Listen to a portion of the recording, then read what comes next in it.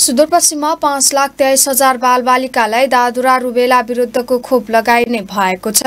सुदूरपश्चिम प्रदेश स्वास्थ्य निर्देशनालयले बालबालिकालाई खोप लगाउन आइतबारदेखि चैत सात गतेसम्म प्रदेशभरि खोप अभियान सञ्चालन गर्न लागि जनाएको छ।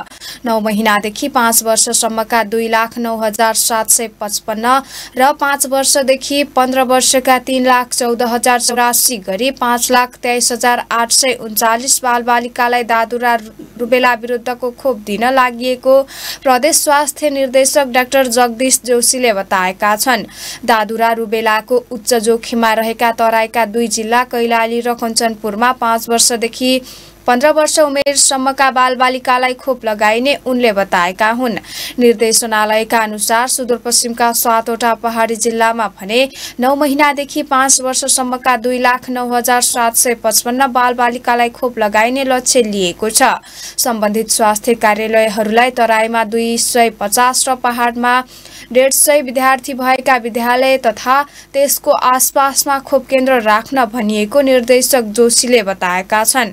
खोप अभियानलाई प्रभावकारी बनाउन आठ हजार तिन सय चालिसजना स्वयंसेवक परिचालन गरिएको बताइएको छ। खोप केन्द्र राखिएका विद्यालयमा शिक्षकलाई समेत अभियानमा स्वयंसेवकको रूपमा खटाउने निर्देशनालयको तयारी थियो। त्यस्तै छ हजार सात सय चौसठी पटक स्वास्थ्य कर्मीवटा स्वास्थ्यकर्मी खटिने निर्देशनालयले जनाएको छ एक जिल्लामा कम्तीमा पन्ध्र दिन अभियान सञ्चालन हुनेछ।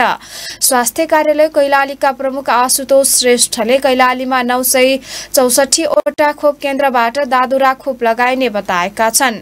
दुई हजार उनासी मङ्सिर तिन गतेदेखि दुई हजार असी पुस पन्ध्र गतेसम्ममा सुदूरपश्चिममा एक सय बाह्रजनामा दादुरा रोग देखिएको निर्देशनालयको तथ्याङ्क छ। कैलालीमा छप्पन्न कञ्चनपुरमा अडतिस र बाजुरामा अठारजनामा संक्रमण देखा परेको हो। फेला परेका संक्रमित मध्ये करिब पचहत्तर प्रतिशत बालबालिका छन्।